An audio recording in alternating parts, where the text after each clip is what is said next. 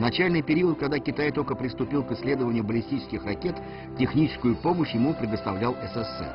Однако по мере ухудшения отношений с СССР Китай пришлось собственными силами разрабатывать баллистические ракеты. Во имя Родины Сень Сюсень и другие исследователи не только отдавали весь свой научный талант, но и жертвовали жизнью. Не хватало персонала, была отсталая материальная база. Преодолев множество трудностей, менее чем через 10 лет Китай успешно запустил баллистическую ракету Дунфан-1 на расстоянии более 550 километров, а Дунфан-2 на более 1000 километров. Провел научные исследования по баллистическим ракетам разных размеров малой и средней дальности. Благодаря его усилиям Китай овладел острым оружием, пронзившим воздушное пространство.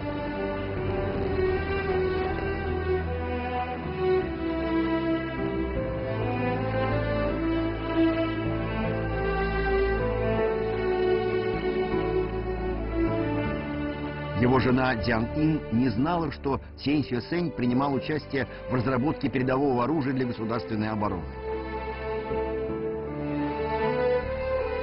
После возвращения на родину семья сделала фотографию, на которой лицо Дзян Ин озарено улыбкой. После пятилетней жизни под надзором началась новая жизнь, полная надежд. Однако Дзян Ин и подумать не могла, что вскоре ее муж будет участвовать в разработке китайской баллистической ракеты. Супруги опять часто бывали в разлуке. Дзян Ин видела мужа еще реже, чем когда они жили в США после свадьбы.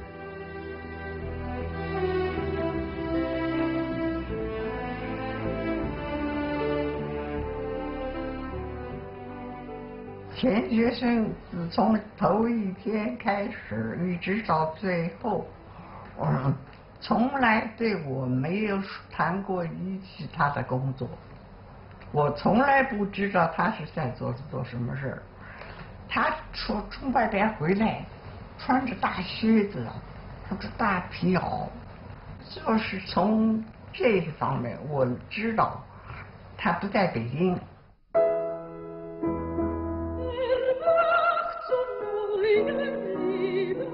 После возвращения в Китай Дзян Ин начала преподавать в Центральной музыкальной консерватории. Днем она работала в консерватории, вечером занималась домашними делами. Когда Сень Сюэсэнь возвращался домой, в доме по-прежнему звучала музыка и песня. Однако теперь Дзян Ин исполняла соло.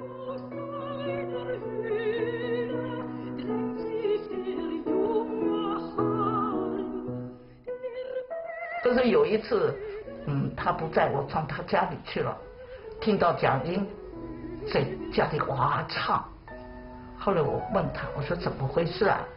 他说他在录音。我说干嘛呀？他说，因为我们两个人有时候很难碰头。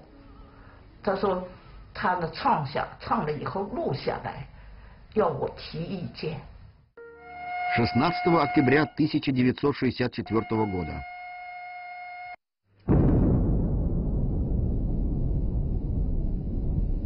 Взрыв первой китайской атомной бомбы потряс весь мир. Спустя два года Китай осуществил успешные испытания ядерной бомбы и баллистической ракеты. Это означало, что у страны появилось новейшее оружие для национальной обороны. Под землей священной пустыни покоятся многие герои нации. Ради процветания государства, возрождения нации, ряд ученых, таких как Цень Сюэсэнь, скрывая свои имена, прилагали все усилия, чтобы в безлюдной пустыне написать страницы национальной славы.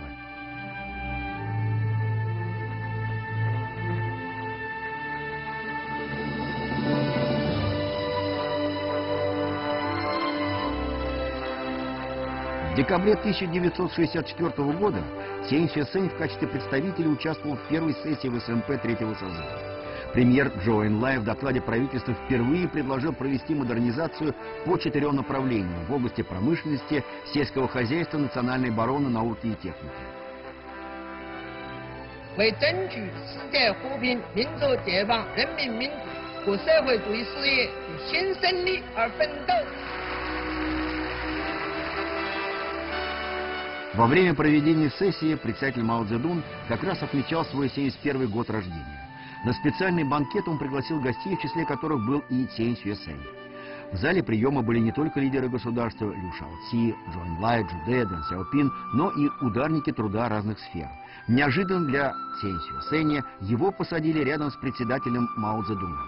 Мао Цзэдун, нарушая правила обыденных дней, выпил водки Маутай.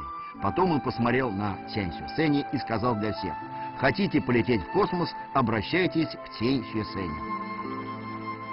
Отправить китайцев в космос, об этом Цзэн Сюсень мечтал еще в молодости. После возвращения в Китай он разработал программу развития китайской астронавтики. Первым ввел в китайский язык слово «космонавтика».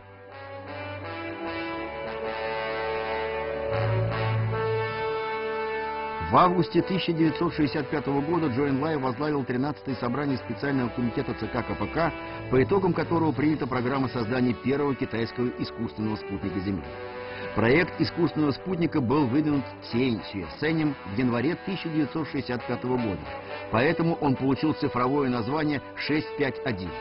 Первый искусственный спутник назвали Дунфанхун-1.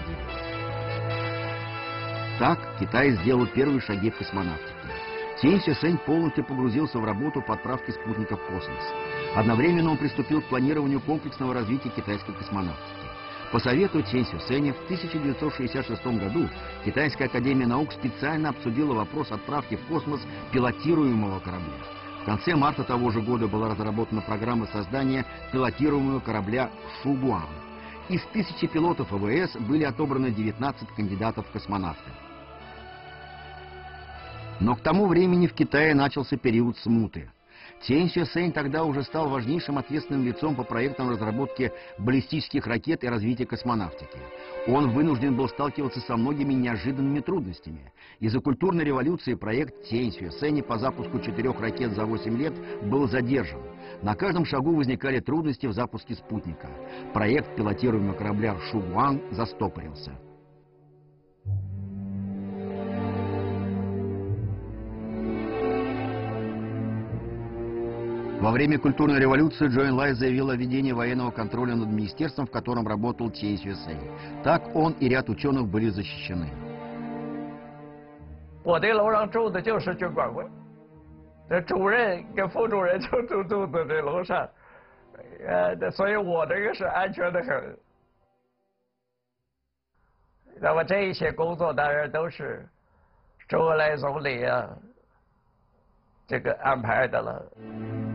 Хотя Чен Сюсейн находился под защитой премьера Лайен, но он все же не смог избежать трудностей. Больше всего он переживал за то, что многие руководители и сотрудники один за другим оставляли свои должности. В 1968 году безвременно погиб его друг Го Юнхуай, что ввергло его в глубокую печаль.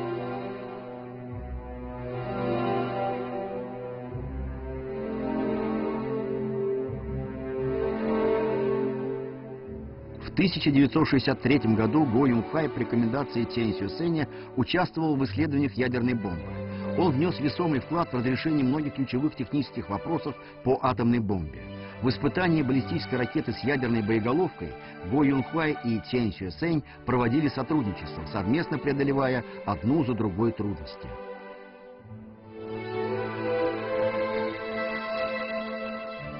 После успешного испытания баллистической ракеты с ядерной боеголовкой 59-летний Го Юнхвай с данными первых термоядерных испытаний Китая летел в Пекин, но перед приземлением самолет потерпел крушение.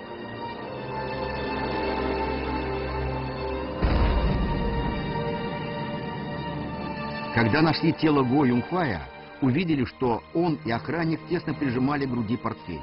Секретные документы в портфеле оказались в целости и сохранности. Узнав о кончине своего друга, Сень Сень был глубоко расстроен. Так близкие друзья и партнеры по работе расстались навсегда.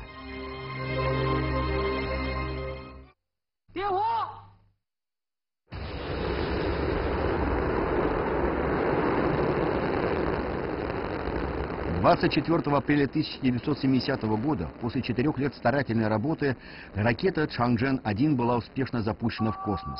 Она вывела на орбиту спутник Земли Дунфанхун-1 весом 173 килограмма.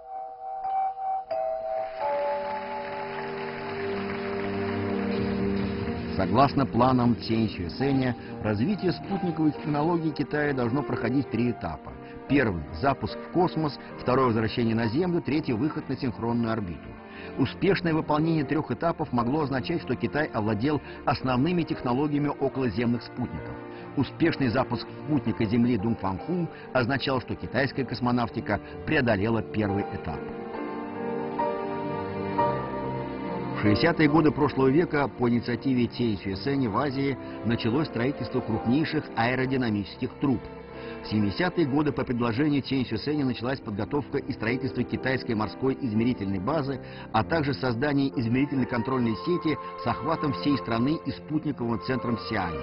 Эти дальновидные решения позже принесли большую пользу для бурного развития китайской космонавтики.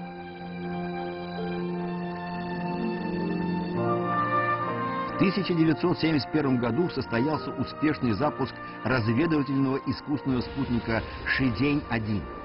В 1975 году Китай стал третьей страной после США и СССР, которая самостоятельно разработала и запустила возвращаемый спутник.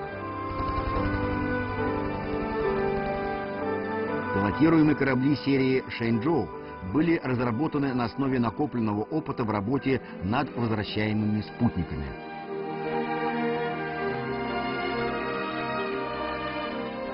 Никто не знает, сколько усилий приложил Чейн Сюэсэй, но люди замечали, что он уже сильно постарел.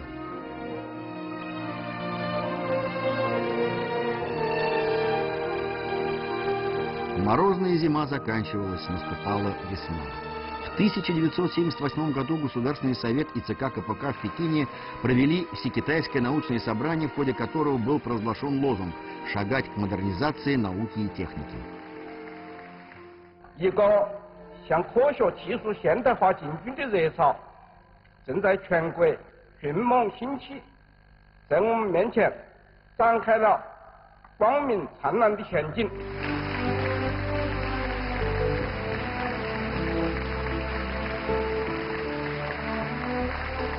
18 мая 1980 года первая в Китае межконтинентальная баллистическая ракета взмыла в небо, отправившись за тысячи километров к далекому Тихому океану. Тогда Сень Сюсейн спокойно сидел в центре командования в Пекине, наблюдал за процессом. В 1965 году под руководством Чен Сюсеня была разработана программа запуска четырех ракет за 8 лет.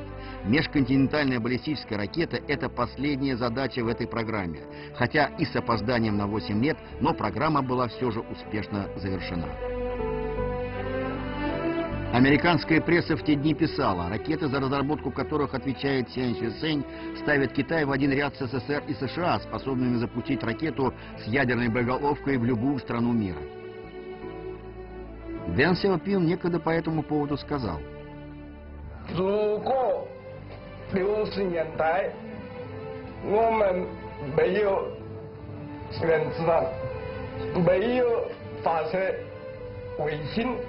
中国的现在是有没有这样的地位？因为这些东西啊，是反映一个民族的能力，也是一个民族啊，一个国家兴旺发达的标志。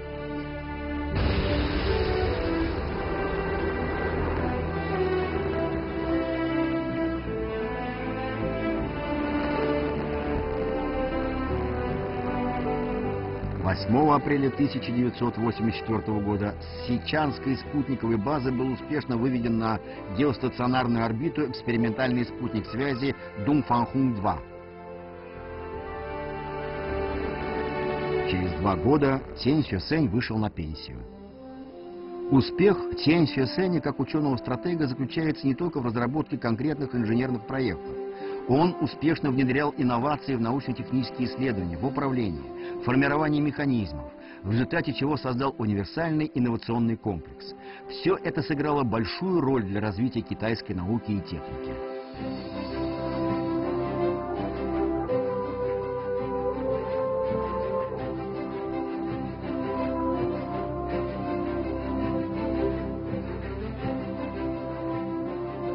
Он 这个总设计师用西方的语言，他是叫 chief scientist 总总设计师，嗯，首席科学家，有个在科学家来说是首席科学家。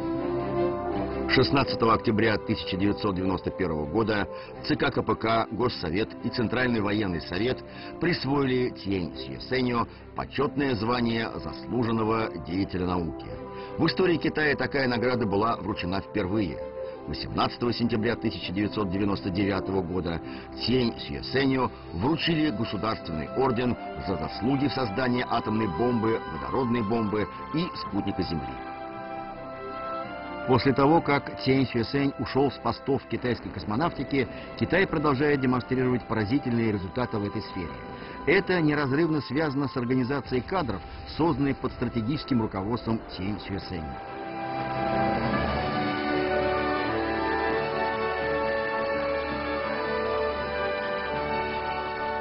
Старости у Тень Сюэсэня было больше времени для размышления о взаимосвязи науки человечества, реформ и развития. Он обращал больше внимания на развитие Китая в различных сферах и отводил больше времени для размышления над этим вопросом. Предложил множество мудрых идей по экономическому строительству и подготовке кадров. Одновременно он представил ряд важных научных идей. Хотя Цень Сюсень уже больше не работал на передовой научных исследований, но партии и народ помнили ученого и его выдающиеся заслуги.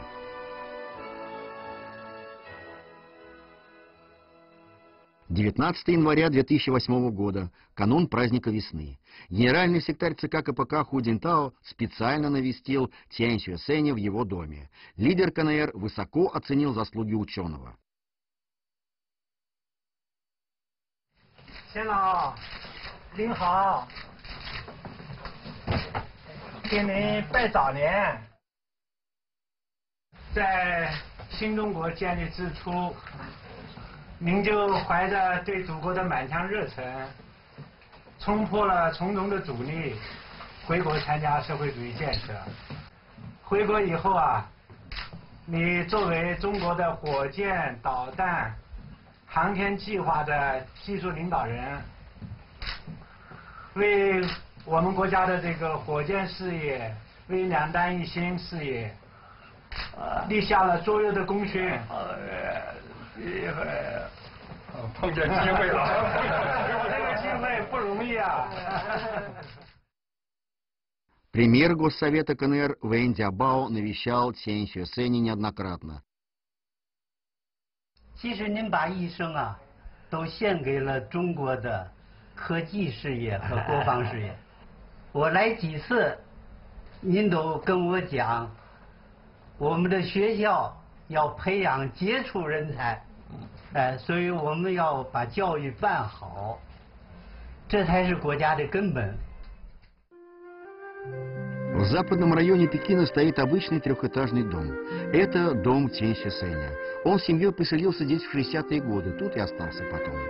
Тенща Сэнь всегда вел скромный образ жизни. Старость у него больше времени стала для семьи. Сын Тень Юнган отметил, что прежде строгий отец изменился. “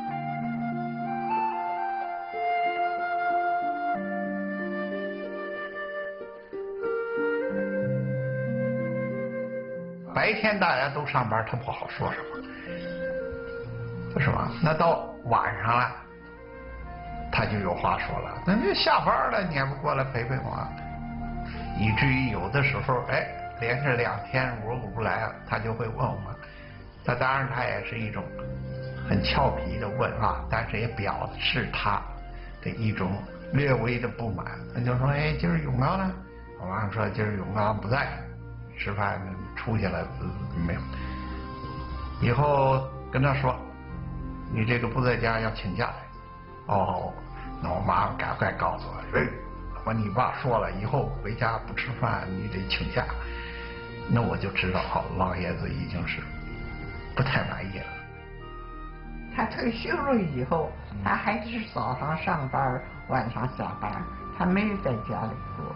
当然，我们在家里从来没大声说过话，一直是很友好，很一直很客气，跟孩子也也是这样，一直是很很很愉快的，很愉快的，没什么特别的，嗯，特别的地方，就是家里总是，嗯。嗯，有说有笑吧。Это кадры домашнего видео семьи Тянь, снятые в 1992 году. В тот день отмечали день рождения 73-летней Дзян Ин.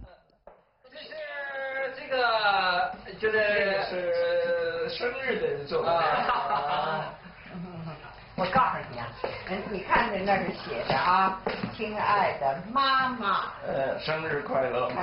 那是写永刚、永贞、冰冰、刘伟丽，就没你的名儿。哈哈哈哈哈！没有你的名字，你们表，你们表示，哎。接到我一个老同学，还给我写信，你不是看了吗？哎，是的，是的，是，他很困难啊，两口子两口人，对对对，嗯。现在两个人都不太舒服，苦得要命。嗯。所以我跟他回信呢，说我很幸运，一个我的老伴儿比我年轻好几岁了。可他这个。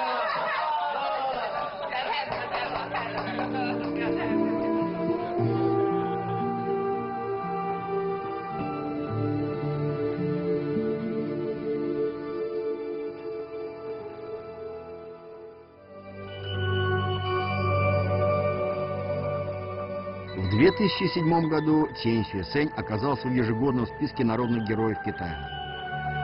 获奖者钱学森，在他心里，国为重，家为轻，科学最重，名利最轻。五年归国路，十年两弹成。他是知识的宝藏，是科学的旗帜，是中华民族知识分子的典范。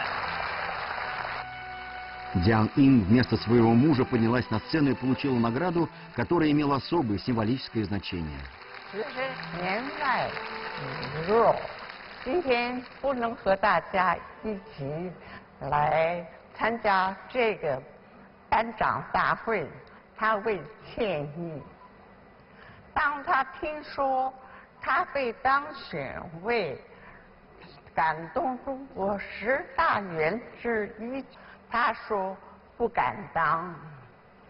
基本实际上，他说我只是恰如其时的做了一点工作，我所能做的工作。伟大的是中国人。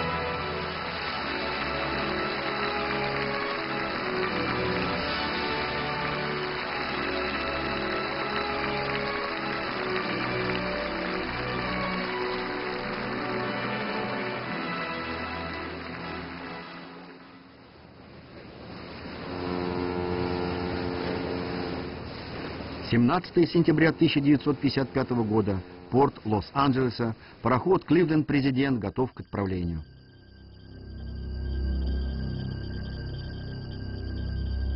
Эксперт в области ракетостроения Тянь Сюэсэнь возвращается в коммунистический Китай. Тогда это было сенсационной новостью в американских СМИ.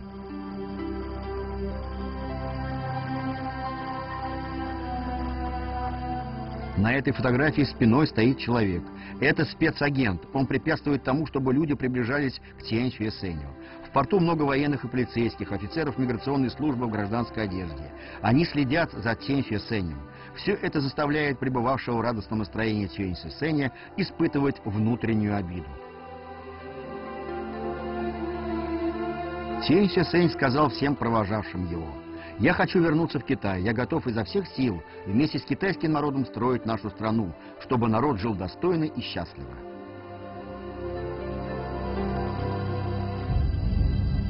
С тех пор он никогда больше не ступал на территорию США.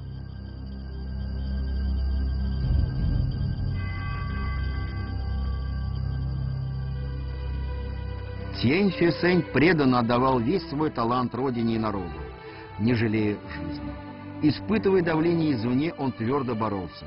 Целеустремленно шел по научному пути, стойко выносил трудности. Он – пример великого духа китайской нации. Он – герой китайской нации.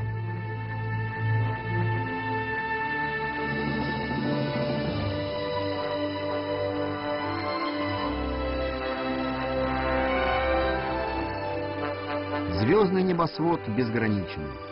Тянь Сень всю жизнь стремился к высоким идеалам. Светом науки он озарил небо Родины, писал имена китайцев в историю освоения космоса. Ученый-патриот, он всю свою жизнь посвятил тому, чтобы зажечь в небе звезду славы Китая.